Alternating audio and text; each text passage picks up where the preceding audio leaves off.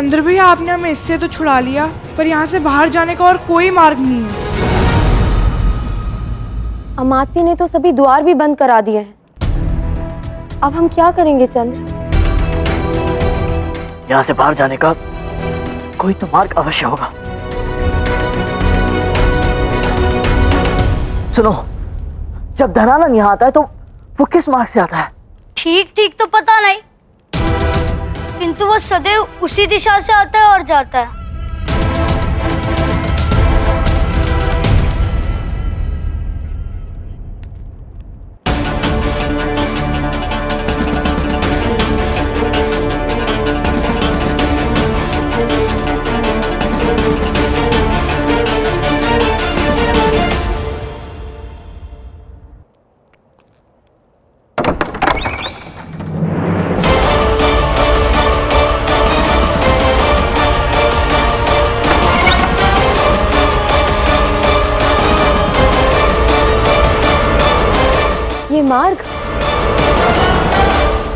मार्ग कहाँ जा रहा है?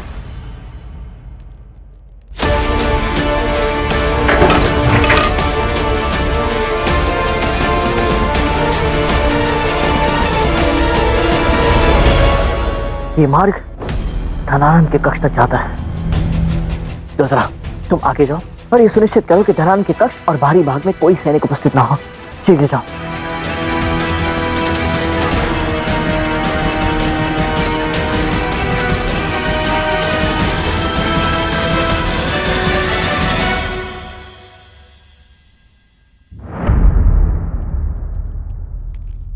राजकुमारी! राजकुमारी! अच्छा तो तुमने मुझसे छुटकारा पाने के लिए मुझे मूर्ख बनाया।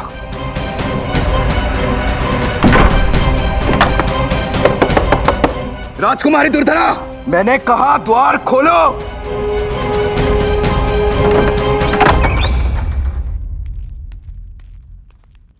राजकुमारी दुर्धरा कहा है? हमें नहीं पता, राजकुमार।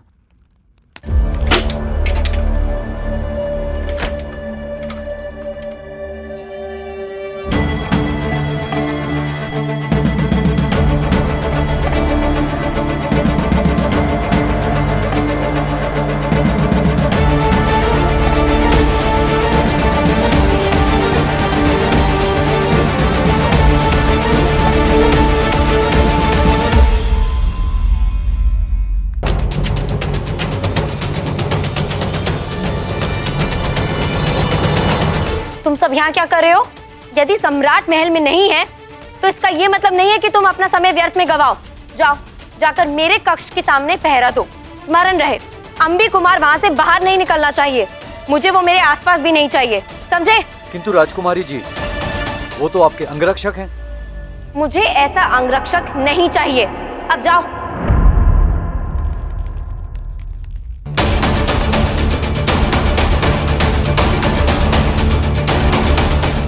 मार्ग साफ़ है।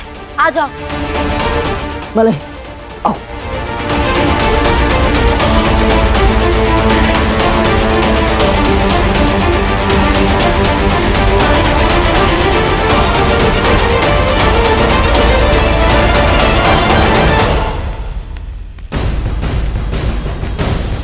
सैनिकों, तुमने राजकुमारी दुर्धरा को कहीं देखा है?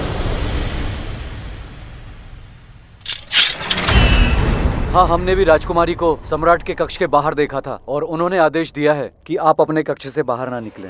दुर्धरा, हटो!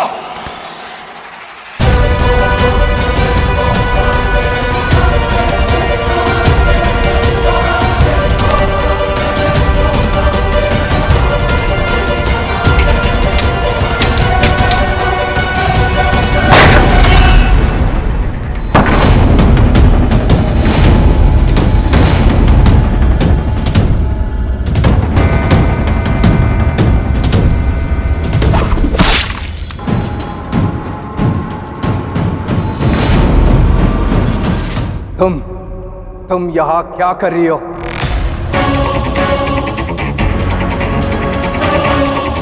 अच्छा। तो अब समझा मैं तो तुम सम्राट की वही मुख्य अतिथि हो जो कुछ वर्षों बाद मगध लौटी हो। और यह स्पष्ट है कि सम्राट को तुम्हारी वास्तविकता का कोई अनुमान नहीं है। किंतु कोई बात नहीं, मैं कार्य पूर्ण कर दूँगा। मैं उन्हें जाकर बता दूँगा कि उनकी प्रियसी वास्तव में चंद्रगुप्त की भेजी हुई गुप्तचर है। और चंद्रगुप्त, जब मैं सम्राट धनानंद के सामने उनके सबसे बड़े शत्रु को प्रस्तुत करूँगा, तब वो प्रसन्न होकर न जाने मुझे कितने पुरस्कार दे देंगे। हे भगवान, आज तो मेरे जीवन का सबसे शुभ दिवस है। आज मेरे भाग्य बदलने वाले चंद्रगुप्त मौर्य देखो भाई। हाँ हाँ। अब फंस गए हो तो बड़ा भाईचारा बाहर आ रहा है तुम्हारा। ये मेरी दुर्दरा को कष्ट देने के लिए। ये उसका दिन रात पीछा करने के लिए। और ये उस पर अपनी बुरी दृष्टि डालने के लिए।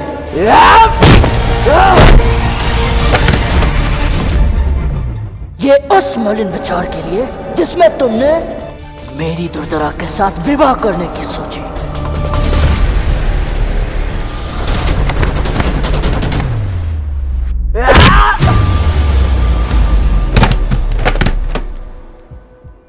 तारिणी, तुमने ये क्यों किया? मुझे इसका अंत करने दो। यही सही होगा। तुम भावुक हो रहे हो, चंद्रगुप्त। इसकी हत्या संदेह उत्पन्न करेगा। और हमें ऐसी स्थिति नहीं चाहिए। हमारी रणनीति स्मरण है। ना हम किसी भी प्रकार का आकर्षण अपनी ओर नहीं ला सकते। तुम्हें लगता है कि ये ये हमारा सत्य प्रकट नहीं होने देगा? वो सब मैं संभालूँगी। तुम दुर्धर और बच्चों को बचाओ।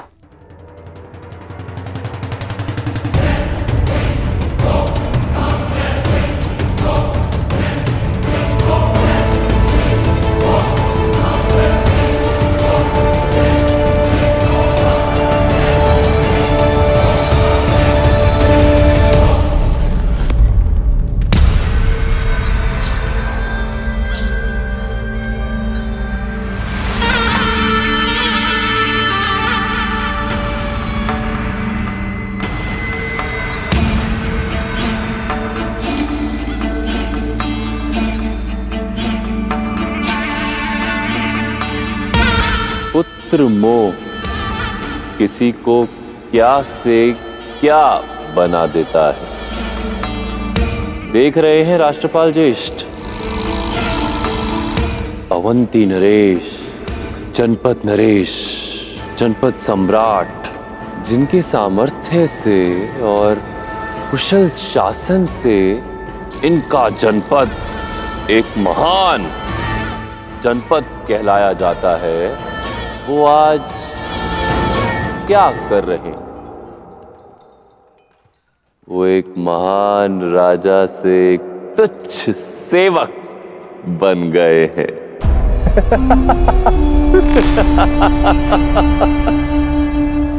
मुझे तो पूर्ण विश्वास है कि पुत्र मोह में ये कुछ भी कर सकते हैं। यदि मैं इन्हें थूक कर चाटने के लिए भी कहूँगा तो ये वो भी कर देंगे। है ना अवंती नरेश?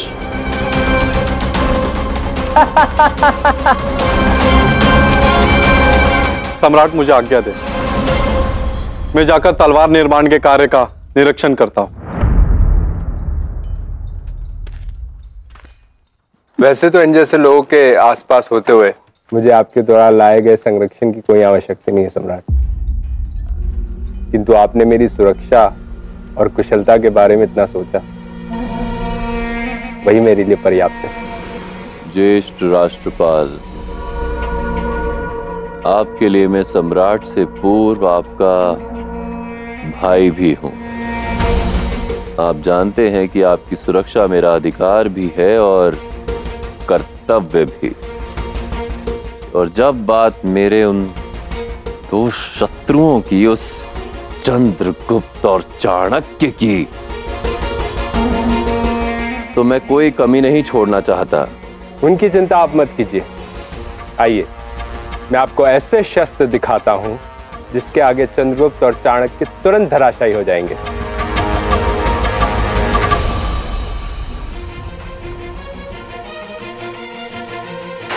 अब हम क्या करेंगे आचार्य? मगध की इतनी विशाल सेना का सामना कैसे करेंगे? चिंता मत करो। हमें केवल ये सुनिश्चित करना है कि ये हमें देख ना पाए।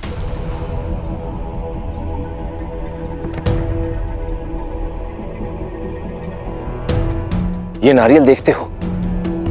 इसके जैसे अन्य नारियल भी एकत्र करो। इनके छिलकों का हम ईंधन की भांति उपयोग करेंगे। उस जलती भट्टी में उस जलती भट्टी के द्वारा हम इतना धुआँ उत्पन्न करेंगे कि समूची मगध सेना कुछ समय के लिए अंधी हो जाएगी। मैं अभी आता हूँ। अब आप कहाँ जा रहे हैं आचार्य मैं मैं एक पिता से मिलने जा रहा हूँ ताकि उसे उसके पुत्र से मिलवा सकूँ। कुछ देर में उसे विभीषण बनकर राष्ट्रपाल की इस लंका को दहन करने में हमारी सहायता जो करनी है तुम सब नारियल एकत्र करो।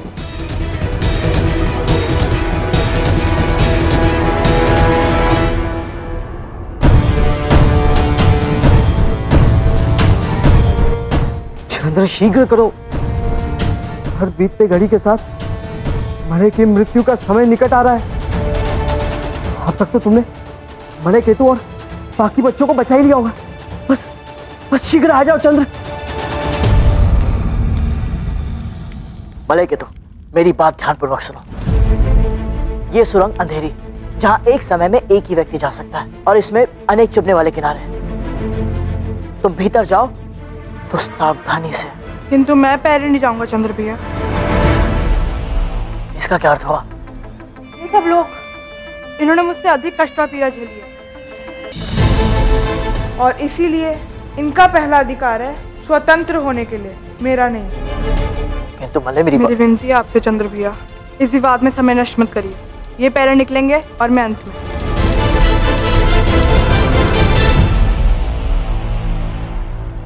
ठीक है। अवंती कुमार, आगे आओ। जैसे ही तुम इस सुरंग में प्रवेश करोगे, तुम्हें केवल आगे बढ़ते रहना है। ना ही रुकना है, ना ही लौटकर वापस आना है। इस सुरंग के अंतिम छोर पर मेरा मित्र सूर बग्गी के साथ तुम्हारी प्रतीक्षा कर रहा है। जाओ। अवंती कुमार भयभीत मत हो केवल आगे बढ़ते जाओ।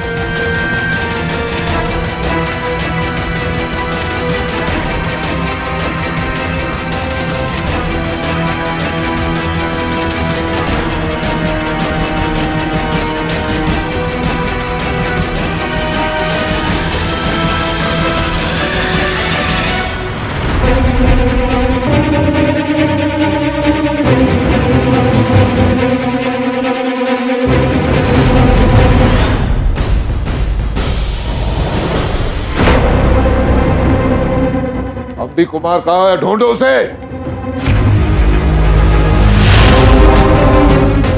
सम्राट के आदेशानुसार उसे मेरे साथ मलाई केतु को मृत्युदंड के प्रबंध देखने थे।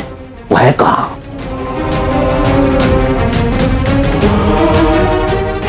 तारिणी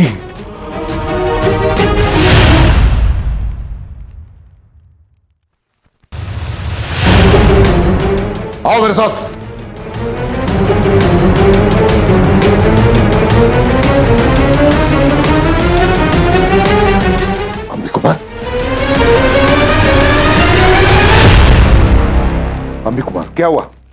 किसने किया सब?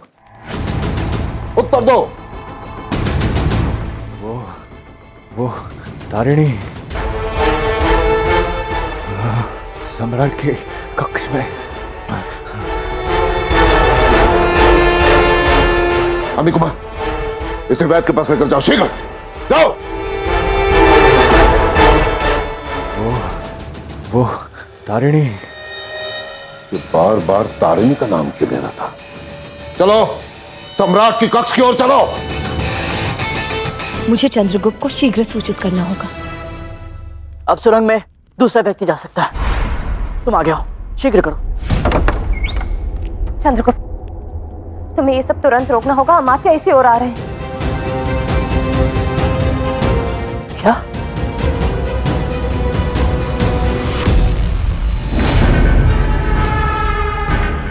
वो तारिणी सम्राट के कक्ष में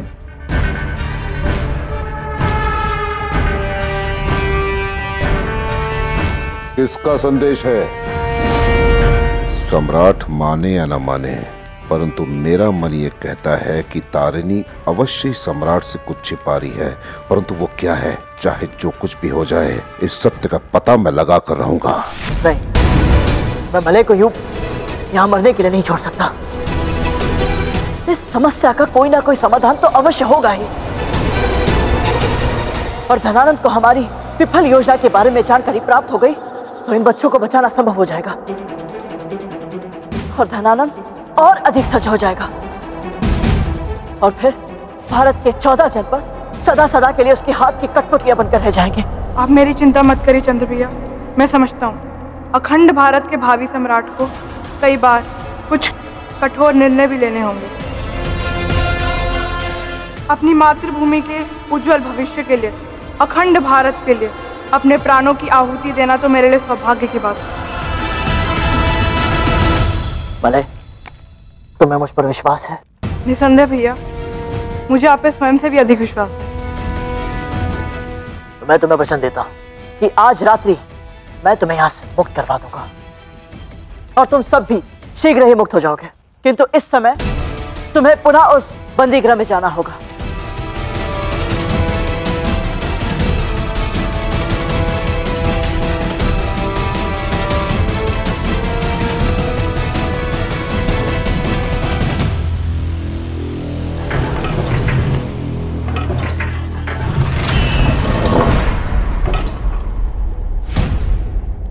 चंद्रगुप्त भैया ने सुरंग का द्वार बंद कर दिया है।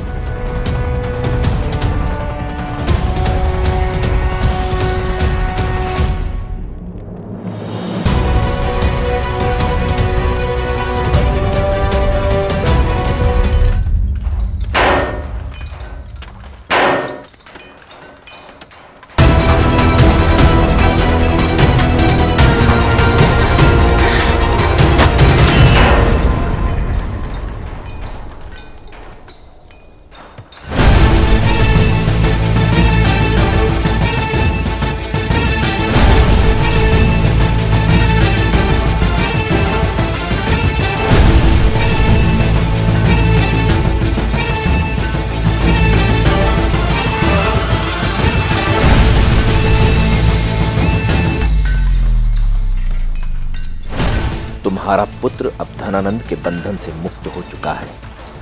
यदि उससे मिलना चाहते हो तो शिविर के पीछे वाले पर्वत पर आ जाओ विष्णु गुप्त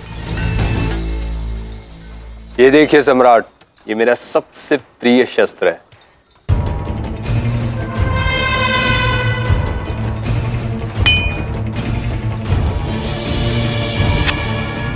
मैं आपके कार्य से अत्यंत प्रसन्न हूँ, ज्येष्ठ राष्ट्रपाल। किंतु फिर भी मैं चाहूँगा कि आप सावधान रहें क्योंकि वो दिल चट्टा और कुटिल ब्राह्मण कभी भी और कहीं से भी वार कर सकते हैं। आप निश्चिंत रहिए सम्राट मैं यहाँ सब कुछ संभाल लूँगा। वैसे भी आत्मसमर्पण करने के लिए जो अवधि आपने चंद्रगुप्त को दी थी वो लगभग समाप्त हो गई है। इसीलिए अब मुझे जाना होगा ज्येष्ठ उस मलय केतु को मृत्यु दंड देने का समय आ गया है। अब क्या? अब हमें कहीं छिपना होगा।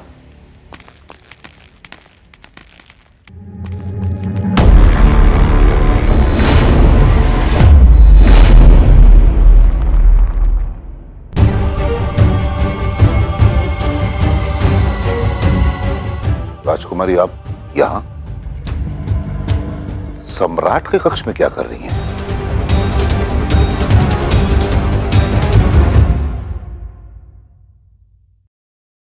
वो, जब सम्राट अपने कक्ष में नहीं होते तो मैं कई बार यहाँ आती अपनी जीवन के बीते हुए उन मीठी स्मृतियों को याद करने, जो मैंने इसी कक्ष में उनके साथ व्यतीत किए। किंतु आप यहाँ क्या कर रहे हैं? कोई समस्या है क्या?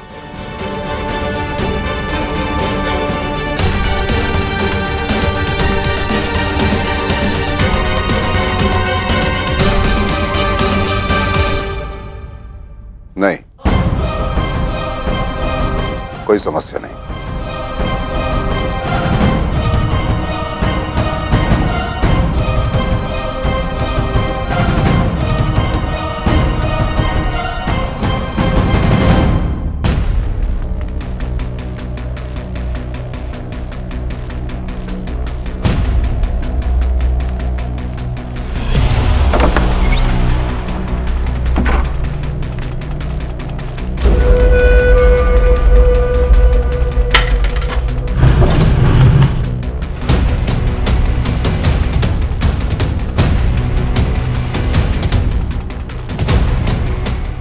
मलय को बचाएँगे कैसे?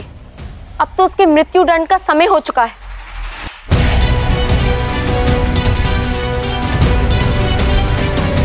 धनानंद मलय केतु को राष्ट्रपाल के विशेष शस्त्र से मारना चाहता है ना? हाँ। वो शस्त्र जिससे एक साथ सहस्त्रों तीर एक साथ चलाए जा सकते हैं।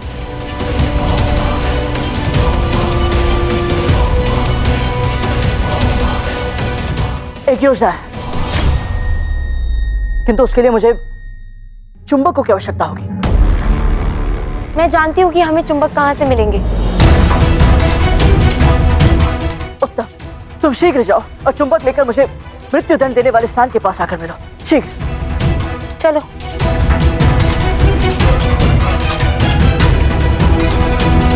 आशा करता हूँ कि अब तक अवंती कुमार स्थूल को मिल गया होगा।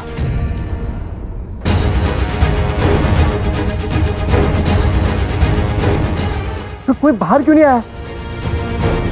अरे केतु के मृत्यु दंड का समय हो गया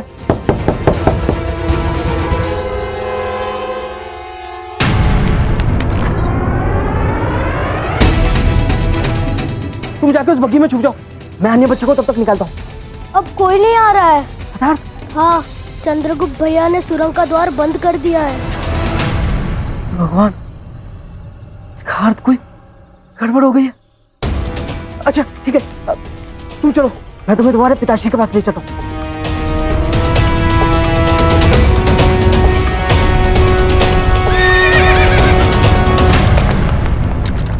आपने मुझसे झूठ बोला। नहीं अवंती नरेश। मैंने आपसे कोई असत्य नहीं कहा। तो कहा है मेरा पुत्र? वो मुझे दिखाई क्यों नहीं दे रहा? यदि आपने मेरे विश्वासघात का प्रतिकार लेने के लिए सब कुछ किया है तो आप मेरी सोच से कई अधिक दुष्ट और क्रूर हैं।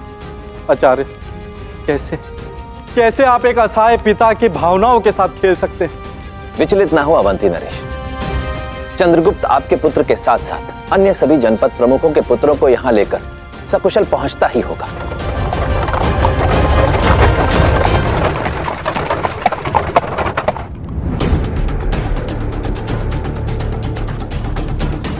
चंद्रगुप्त स्थूल के साथ नहीं लौटा है। अर्थात हमारी योजना में कुछ ना कुछ गलत हुआ है।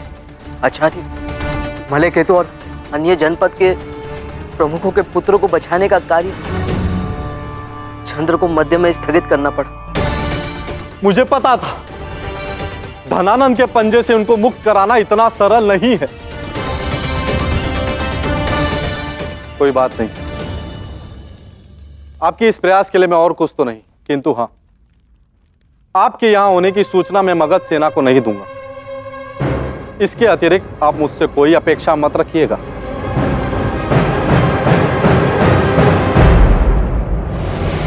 पिताश्री!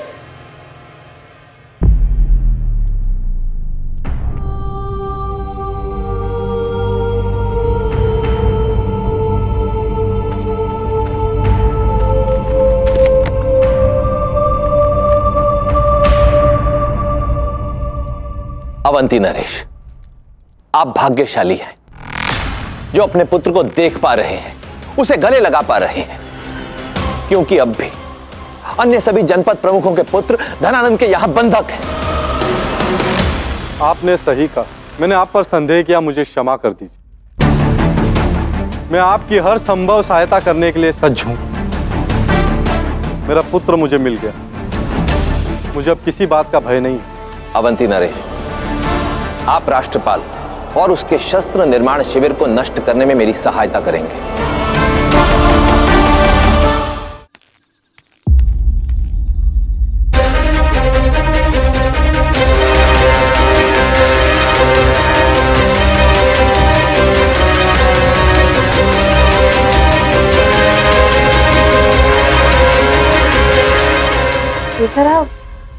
हमने धनानंद के रथ से ये चुंबक चुरा तो लिए।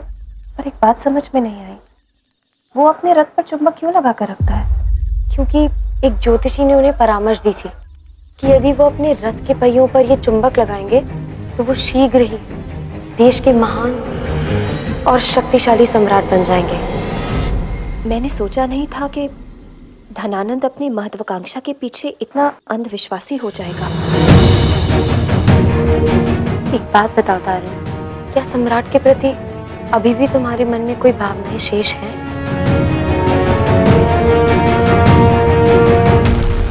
मैं यहाँ उन बच्चों को धनानंद के प्रकोप से बचाने का प्रयास कर रही हूँ। धनानंद के विरुद्ध जा रही हूँ। इससे स्पष्ट हो जाता है कि मेरे मन में उसके प्रति कोई भी भाव नहीं है। हमें ये चुंबक तुरंत चंद्रगुप्त तक पहुँचाने हैं। शीघ्र करो, समय नहीं है।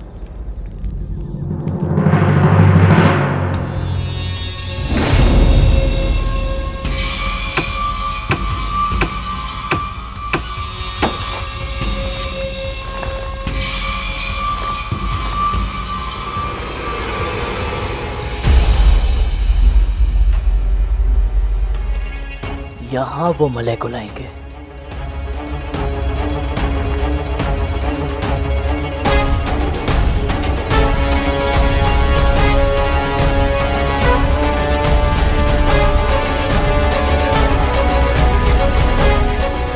और यहाँ से उस शस्त्र की रस्सी को खींचकर उसे चलाया जाएगा।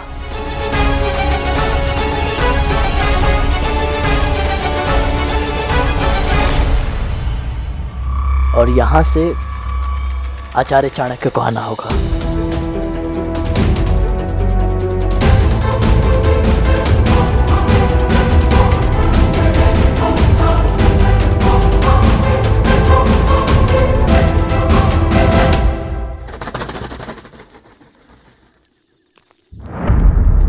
ले आए चुंबक।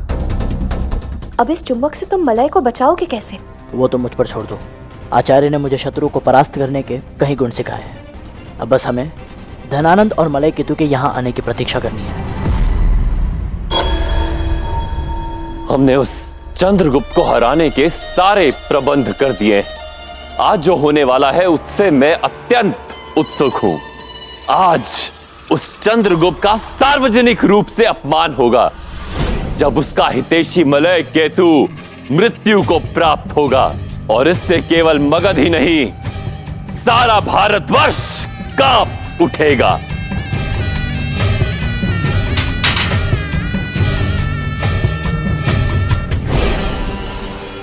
केतु केतु केतु। अब तुम्हारा अंतिम समय आ गया है। जब किसी क्षत्रिय का रक्त बहता है ना तो मुझे तृप्ति मिलती है, आत्मिक सुख। प्राप्त होता है। महामात्य बेड़िया पहनाओ इसे।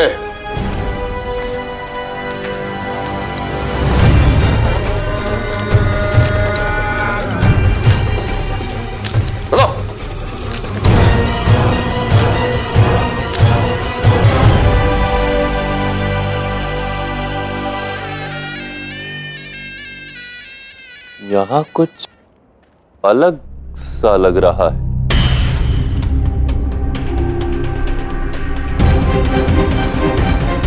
हाँ धनानंद अलग तो है कि तू मुझे मारना चाहता है और इनमें से किसी की भी आँखों में तेरे प्रति कोई भय नहीं है। क्योंकि सब जानते हैं, किसी ना किसी दिन ये इस बंधन से मुक्त हो जाएँगे। और फिर स्वतंत्र भारत की खुली वायु में श्वास ले पाएँगे। अच्छा। खुली हवा में सांस लेंगे। अब मैं तुम्हें बताऊँगा कि भय कौन सी चिड़िया का नाम है। ले चलो इसे।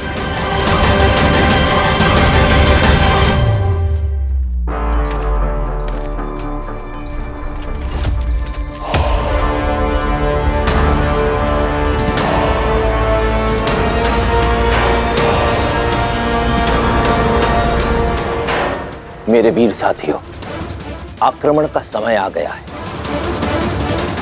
मेरे तीन की संख्या कहते ही सब आक्रमण करेंगे।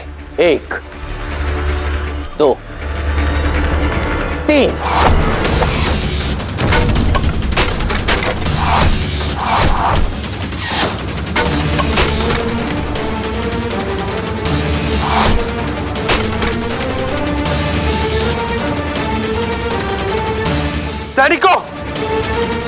सज्ज हो जाओ। हमारे शिविर पर आक्रमण हुआ है।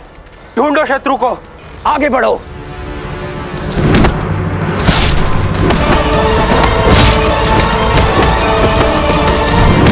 शीघ्र करो। शीघ्र करो। शिविर से बाहर जाओ। किंतु आप लोहारों को भागने के लिए क्यों कह रहे हैं? सुना नहीं तुमने? श्रीमान राष्ट्रपाल ने अभी क्या कहा? हमारे शिविर में आक्रमण हुआ है। मैं यहाँ लोगों को मरने के लिए नहीं छोड़ सकता। चंद्रगुप्त? वहाँ उस दिशा में। जाओ जाओ।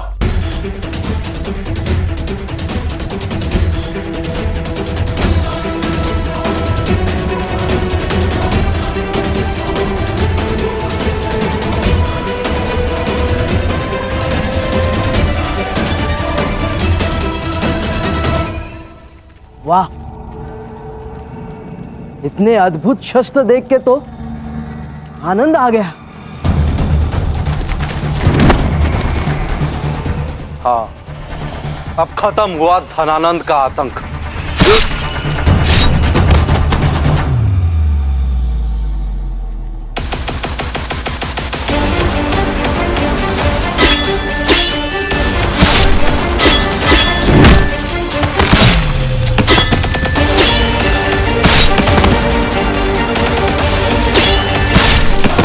अवंती राज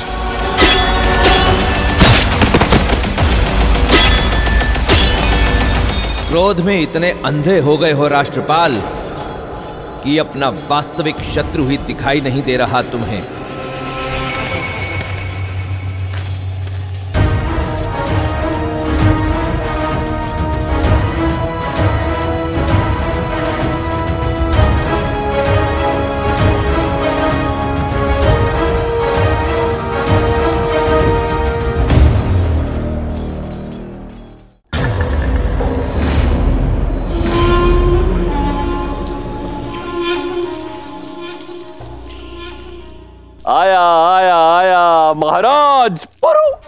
सुपुत्र मलय केतु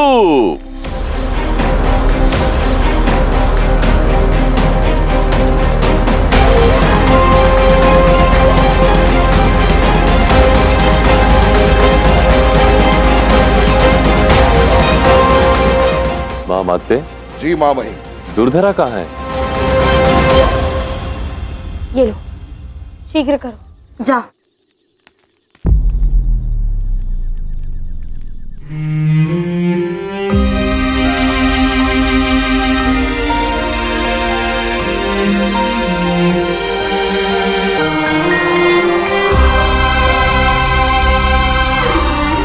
सदा सदा के लिए तुम्हारा।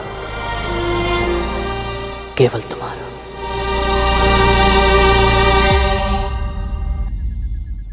सदा सदा के लिए तुम्हारी। केवल तुम्हारी।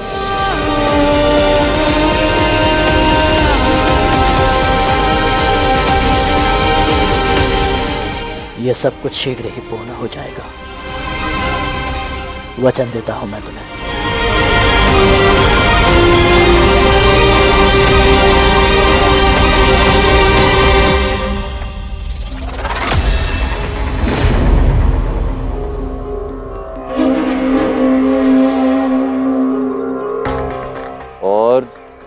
तारा को भी यही होना चाहिए। सब हैं कहा माँ माते? माँ मही मैं आपको कुछ बताना चाहता हूँ। क्या हुआ महामात्य मुझे ऐसा लगता है कि तारा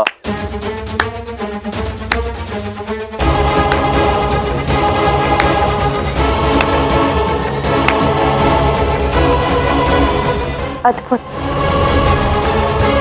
अति उत्तम। बहुत ही भव्य और महान प्रबंध किए हैं एक बच्चे की हत्या के लिए।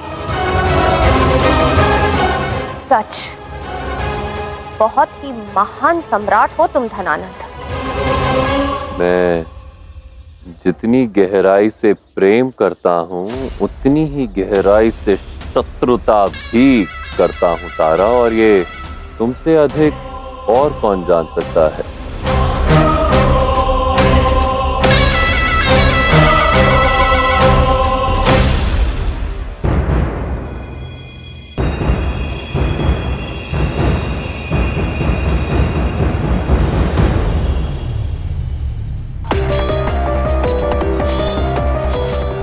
आचार्य, आप राष्ट्रपाल को उसके शिविर में कैसे मारेंगे उसके पास तो संसार के श्रेष्ठतम शस्त्र हैं। मैं जानता हूँ कि राष्ट्रपाल के पास संसार के श्रेष्ठतम शस्त्र हैं। परंतु जो शस्त्र मेरे पास है, वो राष्ट्रपाल के सभी शस्त्रों से थोड़ा अधिक श्रेष्ठ है। और वो शस्त्र है राष्ट्रपाल का क्रोध। और इस शस्त्र के कारण मुझे राष्ट्रपाल पर प्रहार करने की भी आवश्यकता नहीं है। केवल उसके वार से बचने की आवश्यकता है। मेरे ऐसा करने से उसके क्रोध की अग्नि भड़केगी और अवश्य ही कोई भूल करके मेरे जाल में फंस जाएगा।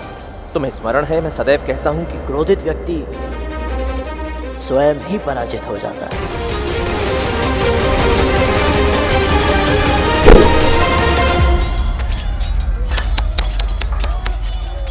इतना शक्तिशाली योद्धा, जिसे मगध का विश्वकर्मा कहा जाता है, सम्राट धनानंद का चहिता ज्येष्ठ भ्राता, राष्ट्रपाल। एक निहत्थे दरिद्र ब्राह्मण पर प्रहार नहीं कर पाया? कोई बात नहीं। एक बार पुनः प्रयास करो। आओ।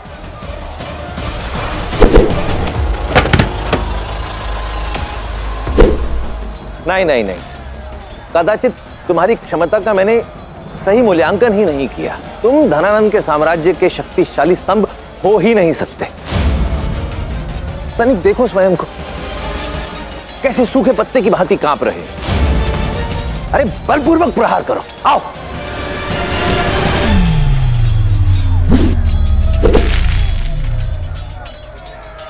हाँ अब समझा मैं तुम्हारी समस्या क्या है। ये तलवार तुम्हारे लिए अत्यंत भारी प्रतीत होती है। कभी इतना श्रम नहीं किया होगा ना? कोई बात नहीं। मैं तुम्हें एक समाधान बताता हूँ। मैं अपनी गति थोड़ी धीमी किए देता हूँ। एक बार प्रयास करो। आओ।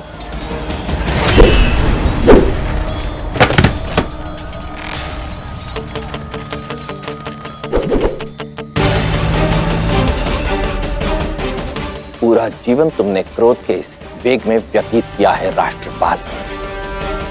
सहस्त्रों लोग तुम्हारे इस क्रोध की अग्नि में जलकर भस्म हुए इसलिए तुम्हें भी अपनी क्रोधाग्नि में ही जलकर भस्म होना होगा।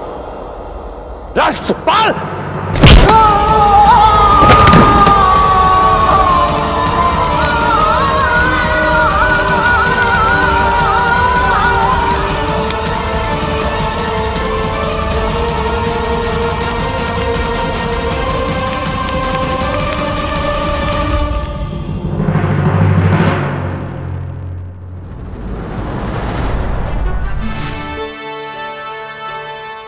अंधकार में चलने के लिए।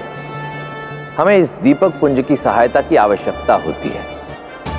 यद्यपि, ये दीपक पुंज अंधकार को पूर्ण रूप से मिटा नहीं सकता, परंतु हमें इतना प्रकाश अवश्य दे देता है कि हम निरंतर आगे बढ़ते रहें।